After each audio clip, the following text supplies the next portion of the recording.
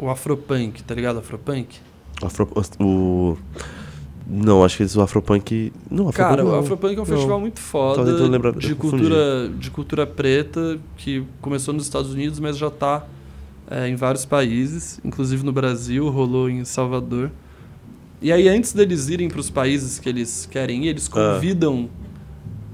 Influenciadores, fotógrafos, artistas para irem pro festival conhecer. Uhum. Aí o cara vai, tem uma puta experiência foda, posta, divulga, cria é, awareness, né? Conhecimento daquele festival no país que ele, que ele quer ir e depois ele vai.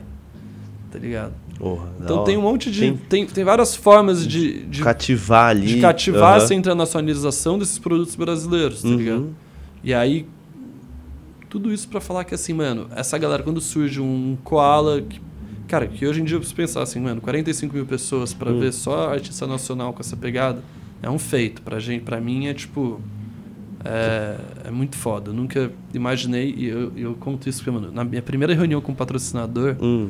o cara, mano, me tirou muito, velho. Porra. O cara falou assim, Sério? mano, esse festival seu aí, isso aí é coisa pra duas mil pessoas, isso aí nunca vai pegar. Um monte de amigo falava assim, mano, você é louco, você é doido, o que você tá Porra. arrumando.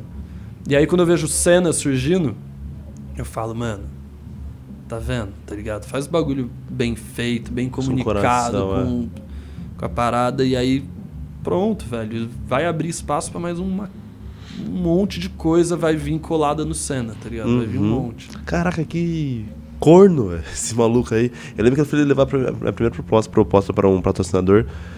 E ele começou papo de vendedor, sabe? E aí no fim ele queria que eu vendesse o produto dele, vendesse.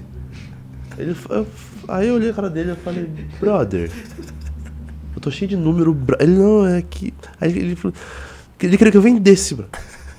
Falei, nossa, eu saí tanta raiva, mano.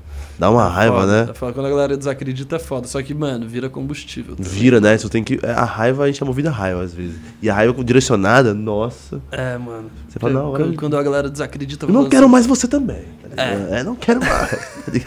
tá ah, se ferrar. É que tem umas coisas que você tem certeza. Tipo, no caso do Koala, por exemplo, é um bagulho que eu tinha... Eu tinha uma certeza tão grande, velho, que eu não ia, nada, Não ia- nada é. ia me parar, tá ligado? Aham. Então esse cara vem e fala assim, mano, mano... Tipo, você vai ver, velho, tá ligado? Tipo, mano, você não tá Eu vou enxergando. usar você como história. Você É, vai ver. exato, você não tá enxergando, tá ligado? Você tá... Pensando E agora. aí, aí né? quando você vai, o bagulho vira muito, Nossa. mano...